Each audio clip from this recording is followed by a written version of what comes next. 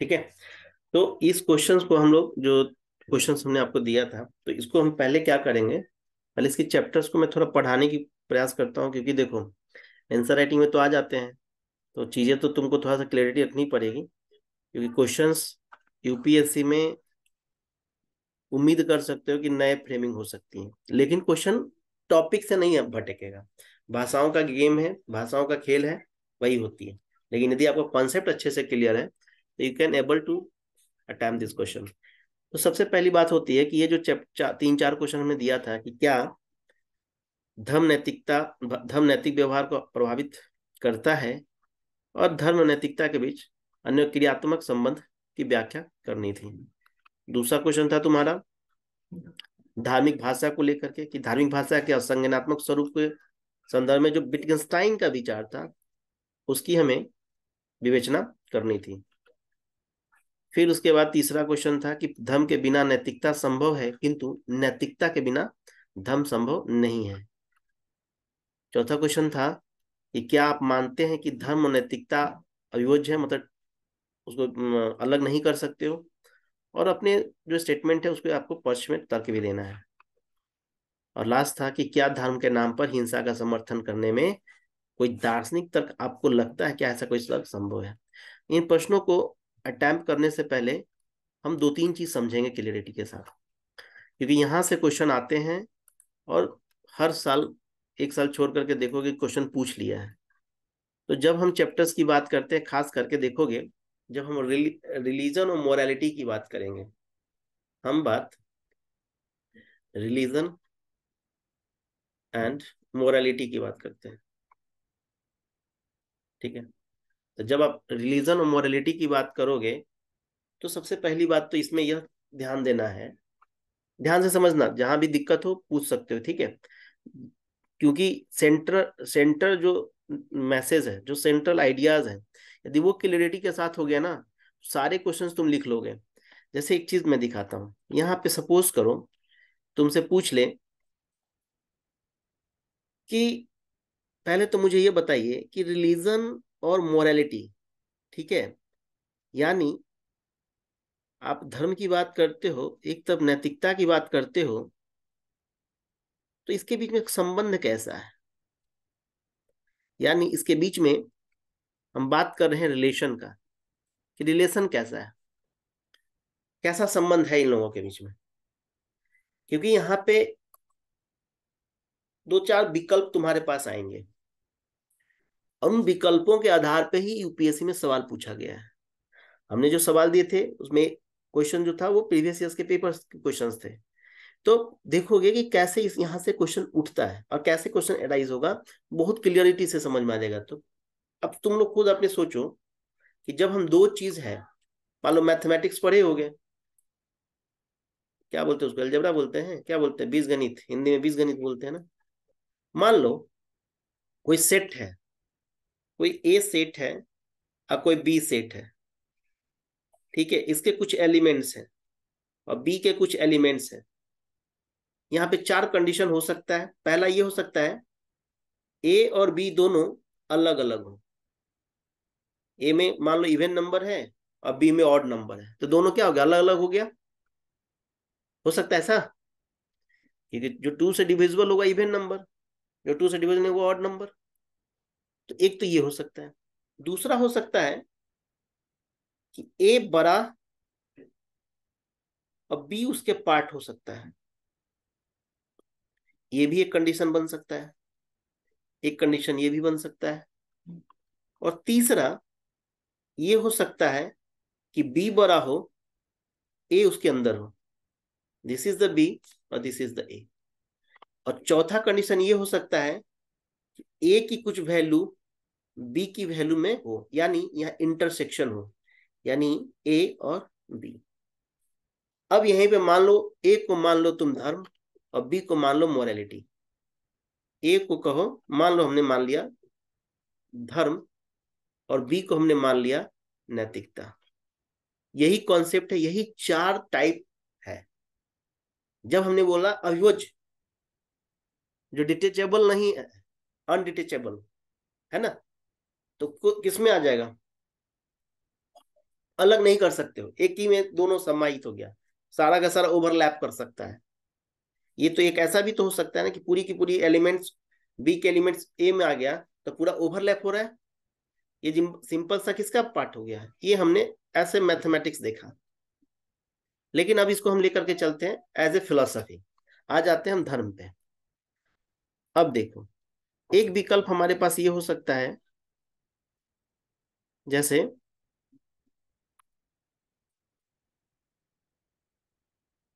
ये हो सकता है कि हम एक विकल्प माने। एक ऑप्शन में हम देख लेते हैं कि ये जो गोला है, ये धर्म का है। और इसके अंदर एक छोटा पार्ट है, वो है नैतिकता। यानी हम यदि इसको भाषा के रूप में लिखें, ठीक है? यदि मान लो इस फिगर से हम भाषा बनाए, हम लैंग्वेज बनाए तो हम क्या लिख सकते हैं? कि धर्म बड़ा, नैतिकता छोटी। और सबके एग्ज़ाम्पल के साथ बताऊँगा। हर कंडीशंस में देखोगे तुम कि जब धर्म बड़ा है, नैतिकता छोटी है तो ऐसे क्या कंडीशंस आ रहे हैं? ऐसे क्या उदाहरण आ रहे हैं? धर्म बड़ा और नैतिकता छोटा। यही होगा ना, जब धर्म का गोला बड़ा बना दिए, नैतिकता छोटा रखे मतलब धर्म को तुमने क्या कर दिया? एक्सट्रीम दिखा रहे हो। उसमें एक छोटा सा पार्ट रख लिए कि भाई नैतिकता है। दूसरा क्या होता है? इसमें एक चीज़ और होगा। इससे, इसी डायग्राम से सोचो क्या निकाल सकते हो। एक तो तुम ये कह सकते हो कि सर, धर्म बड़ा है, नैतिकता छोटा है। दूसरा कह सकते हो सर, धर्म पहले आता है नैतिकता बाद में आती है। क्या हम कह सकते हैं इस गोला को देख करके?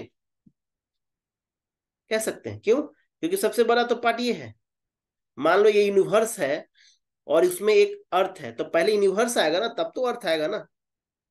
यानी कि हम कह सकते हैं कि धर्म पहले आता है और नैतिकता बाद में। नैतिकता बाद में। ठीक है? अब तुम लोग मुझे सोच के बताना। तीसरा इस फिगर को देख के कुछ निकाल सकते हो तुम?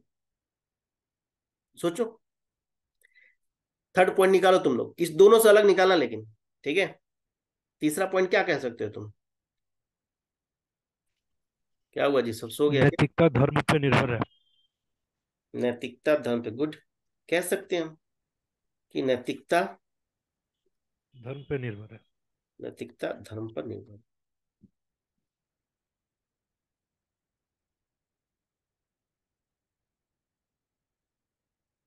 और कुछ पता चल रहा है देखो तो।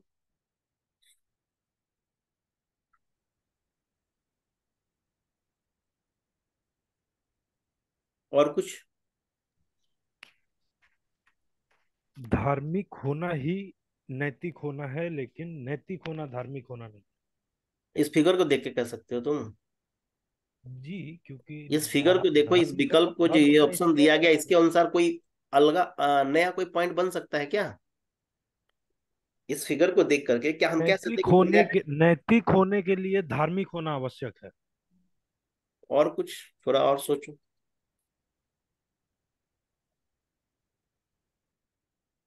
देखो हम कह सकते हैं क्या? हाँ बोलो बोलो क्या बोल रहे हो? धर्म के बिना नैतिकता नहीं है। धर्म के बिना नैतिकता नहीं है। तो भाई जब नैतिकता धर्म पर निर्भर है तो सोबियस सी बात है। वही वही वही बात। रिपीट हो रहा है। नेक्स्ट पॉइंट बताओ कोई। देखो। सर नैतिक लोग नैतिक जैसे नैतिक है अरे उतना मत जाओ। अभी नैतिक लोग नहीं है। बस ये गोला देखो छोटा गोला बड़ा गोला। वो थ्री इडियट का मूवी थ्री इडियट नहीं वो क्या कौन सा पीके था ना वो कहता हमारा एक गोला है।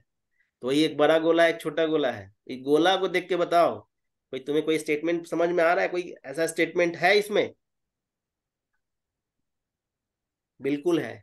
तुम कह सकते हो कि सर हाँ अगर अगर नैतिक धार्मिक होना ज़्यादा नहीं है। जब हम इसको हर विकल्प को जब हम चेक करेंगे तब ये सब बात रखेंगे। लेकिन अभी क्या आएगा? एक लाइन में बताओ कि अभी से और क्या हम बता सकते हैं। क्या हम ये कह सकते धर्म का कुछ भाग नैतिकता दिया नहीं कुछ भाग तो नहीं। पूरा जब तुम उसको निर्भर ही करा दिए हो तो ऑब्वियस ही बात है छोटा है। नैतिकता तो छोटा है पहला ही स्टेटमेंट कह रहे हो तुम कि धर्म बड़ा नैतिकता छोटी। हम्म। है। तुम एक स्टेटमेंट कह सकते हो कि सर नैतिकता धर्म से उत्पन्न हुई है। कह सकते हो? गोला को देख के? हम्म यस सर तो सर तो उसका तो वही हो गया ना? ये तो फिर वही हो गया सर धर्म पहले आता है नैतिकता बाद में आती है।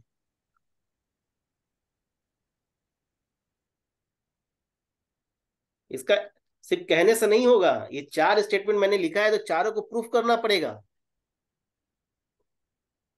यदि मैंने कहा कि नैतिकता धर्म से उत्पन्न होती है तो तुम्हें बताना पड़ेगा ना कि कैसे? क्योंकि एक बात बताओ, एक ही धर्म में, एक ही धर्म में हिंसा जायज़ है? अरे पूजा पाठ करते हो, बलि देते हो, बकरे की बलि देते हो, चाहे जो भी देते हो तो वहाँ तो जायज़ कर दोगे? और एक जगह कहोगे कि नहीं नहीं, ये चीज़ें नहीं होनी चाहिए। जैसा धर्म, वैसा मोरालिटी हमारी। यही हुआ ना। धर्म के अनुसार मोरालिटी नहीं लगता, तुमको चेंज हो जा रहा है। यदि जो वैष्णव धर्म वाले हैं, या जो जैनिज्म को मानते हैं, या बुद्धिज्म को मान रहे हैं तो उनके लिए सोचो कि जो पशुबद्ध है और जो बाकी जो धर्म मानते, इस्लाम हो चाहे, हिंदुज्म में भी बहुत सारे जगह तुम देखते हो बकरे वगैरह को चढ़ाया जाता है। तो हमारा मतलब कि धर्म के अकॉर्डिंग हमारी मॉरलिटी चेंज हो रही है। हमारा धर्म के अनुसार नैतिकता हमारा डिपेंड कर रहा है। नैतिकता पे हमारा धर्म डिपेंड नहीं कर रहा है। नैतिकता धर्म पे डिपेंड कर रही है। धर्म में जो कहा गया वो मोरल है, नहीं है तो नहीं। और भी सेंस में लेके चलेंगे हम। अभी तो छोटा सा एग्ज़ाम्पल दिए सिंपल मांसाहार को लेकर के। तो नैतिकता धर्म पर निर्भर है, पहली बात। तो यहाँ तुम्हें नहीं लगता कि कहीं ना कहीं नैतिकता को कमज़ोर किया जा रहा है? बिल्कुल यहाँ पे कमज़ोर होगा। क्योंकि धर्म पहले आएगा। जब भी आप मोरेटी की बात करोगे तो पहले धर्म आ जाएगा। इसी का ठीक उल्टा कर दो। इसका उल्टा कर दोगे तो नैतिकता का गोला बड़ा, धर्म का गोला छोटा। फिर कहेंगे कि नैतिकता बड़ा, धर्म छोटा। नैतिकता पहले धर्म बाद में, धर्म नैतिकता पर निर्भर, और धर्म नैतिकता से उत्पन्न, ये भी हम कह सकते हैं। हो सकता है या नहीं हो सकता है? जी सर। हो ना? ये भी हो सकता है। तो अब सवाल ये उठता है कि यूपीएससी यहीं पे क्वेश्चन पूछा तुमसे कि क्या धर्म क्या धार्मिक कर्त, जो नैतिक कर्तव्य है धर्म के अनुसार संचालित है? क्वेश्चन आया था तुम्हारे पास?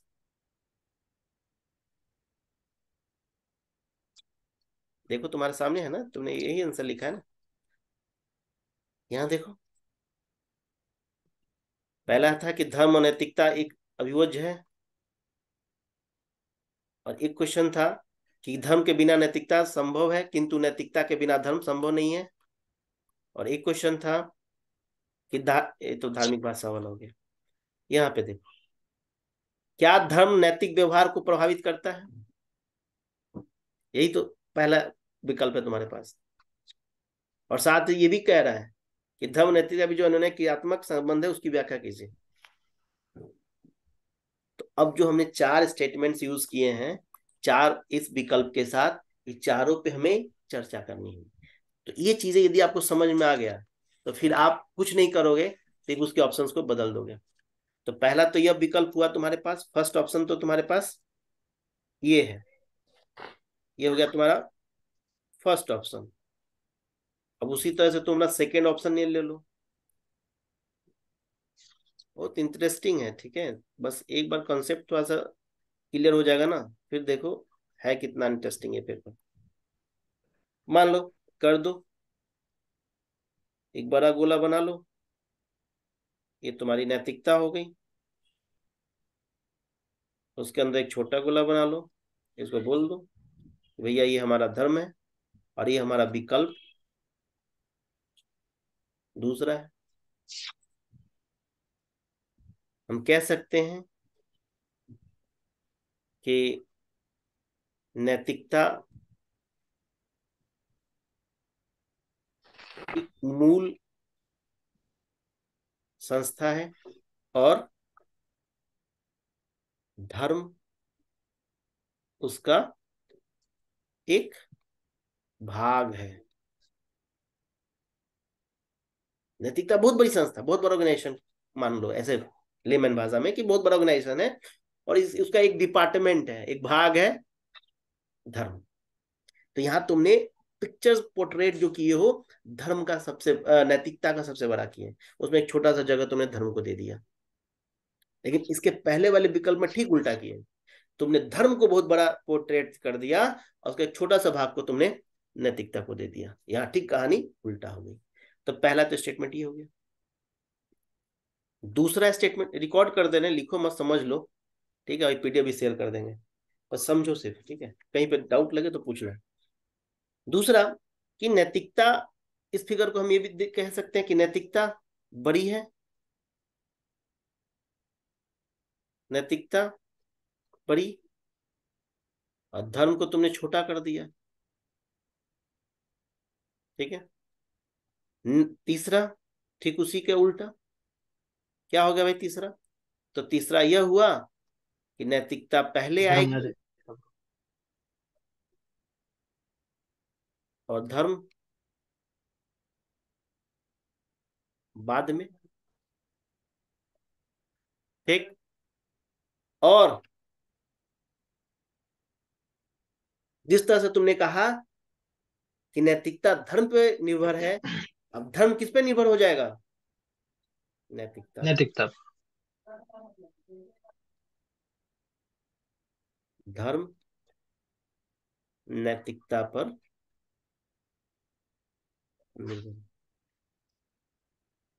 तो ये तो तुम्हारा दूसरा विकल्प हुआ। तीसरा विकल्प क्या होगा? अब इतना डिटेल नहीं लिखेंगे ठीक है? तुम लोग समझ में ही रहा होगा कोई दिक्कत तो नहीं हो रहा है ना किसी को? तीसरा विकल्प देख ठीक है। तीसरा विकल्प हम देख लेते हैं। तीसरा विकल्प तुम ही लोग सोच के थोड़ा बताओ क्या कर सकते हो?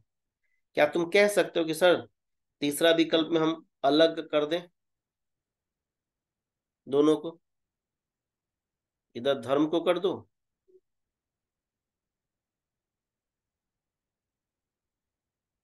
और इधर नैतिकता क्या कर दिया तुमने? भाई एक दूसरे से स्वतंत्र है। एक दूसरे से स्वतंत्र है। कौन? नैतिकता। अब यहाँ रिलेशन बनने का सवाल ही नहीं पैदा होता। लेकिन चौथा विकल्प क्या होगा? हाँ जी बोलो। सर स्वतंत्र और विरोधी और एक में स्वतंत्र और सहायिका ये दो तो होगा ना। क्या बोला? स्वतंत्र दोनों है लेकिन हाँ। एक में विरोधी होगा और एक में वो अभी मैं वो पॉइंट पे आ रहा हूँ मैं। अच्छा। यहाँ तक तो, तो दिक्कत नहीं है ना। अब देखो हाँ, जी सही एक बात बताओ। तुमने इसको स्वतंत्र कर दिया इसको भी तुमने स्वतंत्र कर दिया।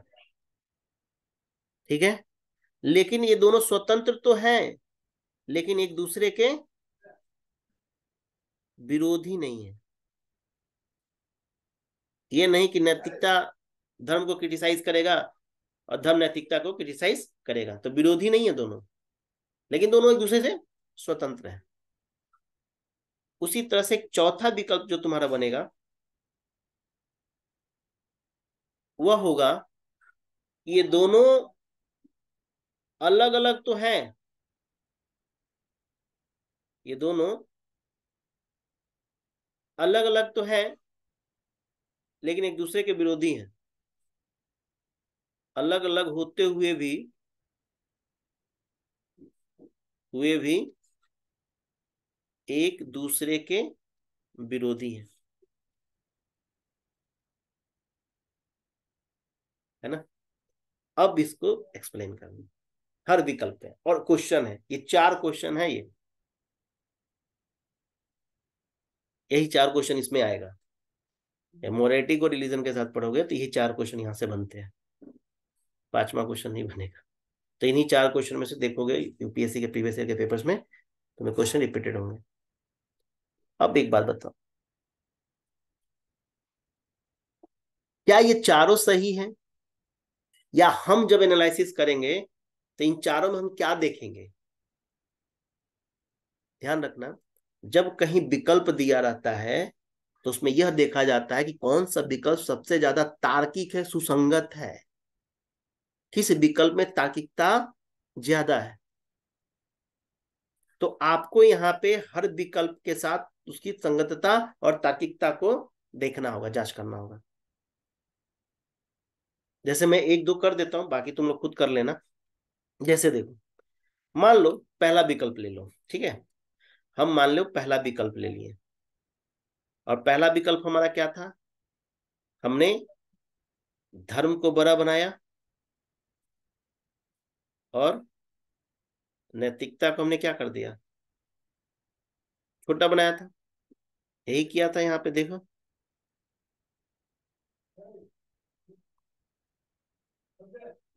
यही था ना पहला ऑप्शन हमने धर्म को बड़ा बना दिया और नैतिकता को हमने छोटा बना दिया। यानी इस डायग्राम से हमें यह पता चलता है कि धर्म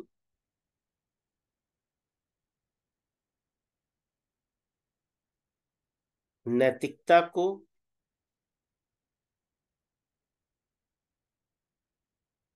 उत्पन्न करता है। पैदा कर रहा है तो उत्पन्न कर रहा है। और इस डायग्राम से हमें यह भी पता चला है कि नैतिकता धर्म का एक भाग है, पूरा नहीं है। नैतिकता धर्म का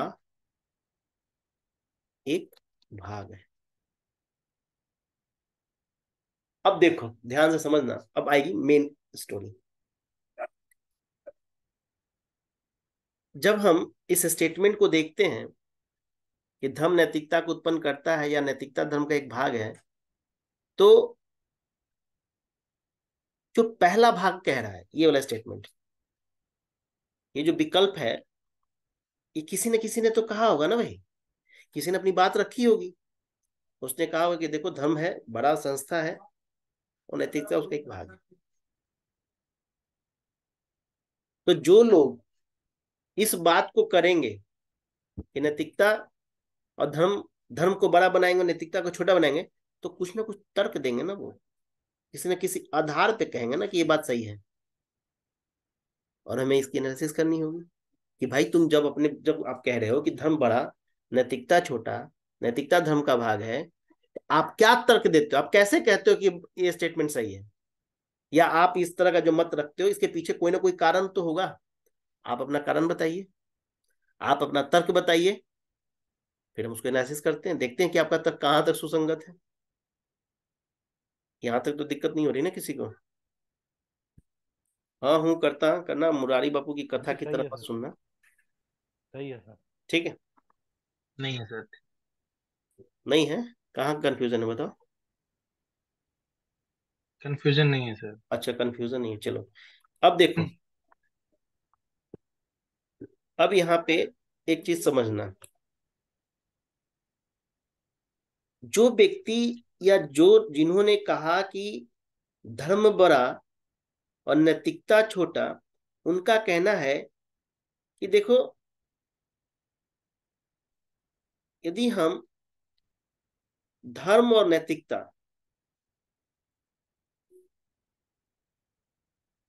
का जो स्वरूप है, जो उसका नेचर है, एक जैसा है।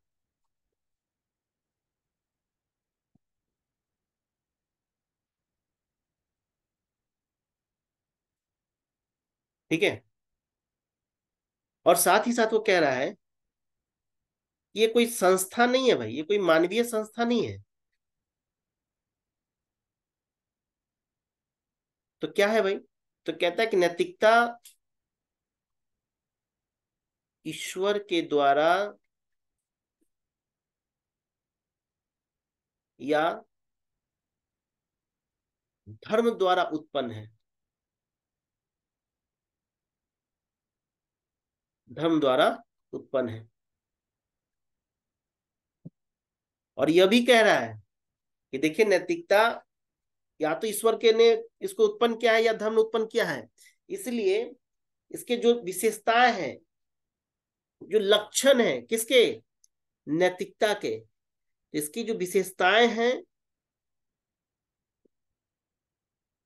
इसके जो लक्षण हैं, वो कहाँ से आ रहे हैं? वो आ रहे हैं धर्म से। ठीक है?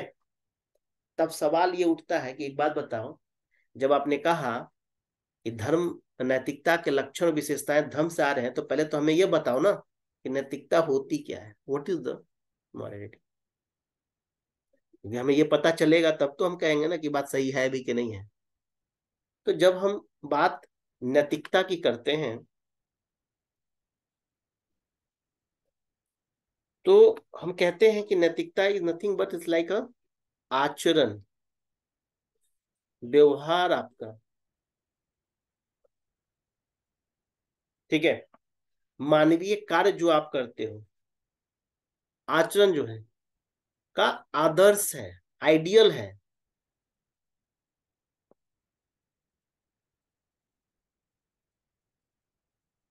क्या है वो? आइडियल है, आदर्श है। व्यक्ति को क्या करना चाहिए, मानव को क्या करना चाहिए, क्या नहीं करना चाहिए? है ना? उसको क्या कहेगा? जो कहते हो ना कि तुम्हारी ड्यूटी है तो आपकी ड्यूटी क्या है? आप मोरलिटी में जब आप देखते हो, कोई ऑफिसर्स है, उसको बोलते हो कि आपकी मोरल ड्यूटी क्या है? मतलब आपको क्या करना चाहिए, क्या नहीं करना चाहिए? क्या सही है, क्या गलत है, वो तो बात की बात है आपको क्या करना चाहिए? क्योंकि बहुत सारे ऐसी चीज़ें आएँगी जहाँ पे आपको लगेगा कि वो गलत है, लेकिन बाई ऑन द रूल, वो उसको वो चीज़ों को करेगा। तो यहाँ पे हम उस चीज़ को डिस्कस ना करके हम यहाँ ये देखने की प्रयास करेंगे कि जो इन्होंने धर्म जो धर्म को बड़ा बनाया, धर्म को बड़ा कौन मानेगा? जो धर्म शास्त्री है, जो अपने आप को धर्म का रिप्रेजेंटेटिव मानते हैं, वही धर्म को बड़ा करेगा। क्योंकि उसे धर्म को डिफेंड करना है ना भाई। हमने प्रीवियस सेशन में देखा था थियोलॉजी की बात हमने किया था। धर्म धम शास्त्र धम, दर्शन। हमने तीनों में डिफरेंस देखा था। तो जो लोग इस सबको सपोर्ट करेंगे, वही लेके आएँगे ना। ये धर्म को बना, बड़ा बनाना, क्योंकि फंस जाएँगे। वो आगे फंसेंगे। इसलिए वो यहाँ पे कॉन्सेप्ट लेके आ रहे हैं। तो फिर वो दूसरा कॉन्सेप्ट फिर दूसरा विकल्प लेके आएँगे। फिर तीसरा विकल्प लेके आए। इस तरह से इनका विकल्प चलेगा। तो से हम अभी पहले का आर कर रहे हैं। तो कहने का मतलब है कि व्यक्ति का जो मानव का जो आचरण है, जो व्यवहार है उनका, यानी मानव को, इंसान को क्या कार्य करने चाहिए? कार्य करना चाहिए?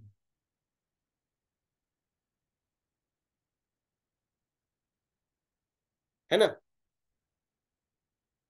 जैसे एक शब्द आता है, उसको हम बोलते हैं साइंस ऑफ़ ड्यूटी।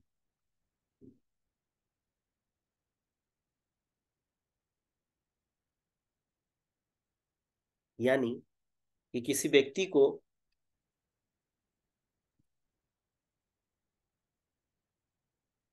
ऐसे कह सकते हो कि साइंस ऑफ़ ड्यूटी का मतलब ये हो कि जो बताता है कि व्यक्ति क्या करेगा। मान लो कोई कहीं पे कोई अभी सपोज़ करो जैसे अभी उत्तराखंड में वो जो मजदूर फंस गए, है ना? माइनिंग में फंसे ना, रास्ता ब्लॉक हो गया। या मान लो किसी आप आपदा में कोई व्यक्ति फंस गया तो जो ब्यूरोक्रेसी है, जो नौकरशाह है, ठीक है, उनकी आपदा की क्या ड्यूटी है? है ना? आपदा की ड्यूटी होगी। क्या करना चाहिए? उसी तरह से मान लो कोई बीमारी है, किसी डॉक्टर के पास जाओगे तो डॉक्टर की क्या ड्यूटी है? पुलिस वालों की क्या ड्यूटी है? हर किसी की ड्यूटी है ना भाई? ये सारे गवर्नमेंट एम्प्लॉयज़ हैं तो सबकी ड्यूटी तो निर्धारित है कि आपदा के केस में एक ब्यूरोक्रेसी की क्या ड्यूटी होगी, डॉक्टर की क्या ड्यूटी होगी, प्रशासन का क्या ड्यूटी होगा? तो ड्यूटी क्या है? आपको निर्धारित क्या मानव को करना चाहिए। अब यहाँ सवाल ही उठेगा कि भाई, क्या हम ये नहीं कह सकते हैं कि नैतिकता कुछ और नहीं, कोड ऑफ़ कंडक्ट है? अब तुम लोगों को लग रहा होगा कि सर पता नहीं, एथिक्स पढ़ाने लगे क्या? हम एथिक्स नहीं पढ़ा रहे हैं। ये तुम्हारा फिलोसफी का चैप्टर है। ठीक है? रिलीजन एंड मोरालिटी उसके बीच में डिफरेंस देखना है। तो यहीं से जुड़ जाएगा। इसीलिए कुछ लोग कहते हैं कि philosophy is the part of ethics is the part of philosophy मतलब फिलोसफी एक बड़ा संस्था और उसका एक पार्ट एथिक्स है टॉपिक लेकिन ऐसा नहीं कि जो सिलेबस यूपीएससी का टोटली फिलोसफी है। ठीक है? लेकिन फिलोसफी का पार्ट है एथिक्स तो यहाँ पे कोड ऑफ़ कंडक्ट ठीक है? यानी आप कह सकते हो कि हमें क्या करना चाहिए? क्या करना चाहिए? क्या नहीं करना चाहिए? ठीक है? यानी हम कह सकते हैं कि नैतिकता कुछ और नहीं, मनुष्य के आचरण के आदर्श नियम है कि क्या करना उचित है और क्या करना अनुचित है। क्या करना उचित है और क्या करना अनुचित है। यह है नैतिकता मोरालिटी कोड ऑफ़ कंडक्ट भी हो सकते हैं। कि व्यक्ति को क्या करना उचित है और क्या करना उचित नहीं। समझ में आ रही है ना बात? क्योंकि जब आप नैतिकता को ही नहीं क्लियरिटी के साथ समझोगे तो फिर आप उसको ज़ोर नहीं पाओगे। ये जो चार गोला बना के जो हम समझा रहे हैं ना वो नहीं समझ पाओगे। क्योंकि धर्म को आपने रखा है उसी तरफ़ आपने नैतिकता को रखा है। और फिर आप उन दोनों के बीच में संबंधों का निर्धारण कर रहे हैं। तो जब आप संबंधों का निर्धारण कर रहे हैं तो पहले तो आपको ये दोनों बातें क्लियर होनी चाहिए।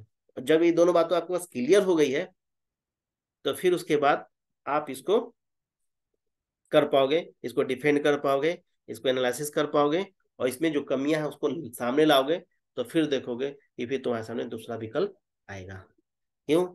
क्योंकि इसमें हमारा काम होता है धर्म दर्शन का काम ही है कि जो बातें कही जा रही हैं, उसमें कितनी तर्कसंगतता है, उसमें कितनी कंसिस्टेंसी है। ऐसा तो नहीं कि एक कंडीशन में आप कुछ और कह रहे हो, दूसरे कंडीशन में कुछ और कर ले रहे हो, अपने अनुसार जब मन करे नैतिकता को बदल दो, और जब मन करे नैतिकता को अपना लो। जब आप कोई बात कह रहे हो तो हर कंडीशन में सही होनी चाहिए ना। आपके लिए कुछ और नैतिकता, हमारे लिए कुछ और नैतिकता तो फिर बदलेगी ना कहानी।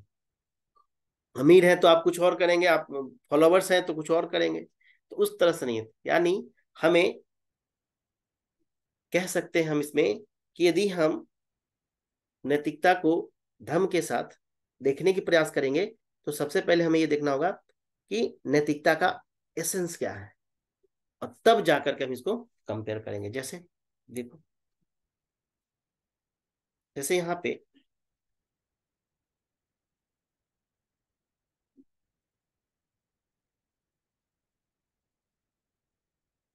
अच्छा एक बात बताओ तुम लोग। मान लो हम नैतिक है, हो रहे हैं, या हम नैतिकता के गुणों को फॉलो कर रहे हैं, है ना? नैतिकता का जो गुण है, सदाचार, सत्य बोलना, बहुत सारी चीज़ें। तो हमारा जीवन कैसा होगा? हमारा जीवन अच्छा होगा या बुरा होगा? खराब होगा कि अच्छा होगा? बोलो। नैतिक गुणों को नैतिक आचरणों को तुम यदि फॉलो करोगे तो तुम्हारा जीवन अच्छा होगा या खराब होगा? अच्छा होगा। खुशी अच्छा बढ़ेगी हो तुम्हारे मन में अच्छा हो सर कभी खराब होने की संभावना हो सकती है। अच्छा मतलब नैतिक हो गए तो तुम्हारा जीवन खराब हो जाएगा। हम्म? सर नैतिक हैं अंदर तो हम खिलाफ अगर कोर्ट में अगर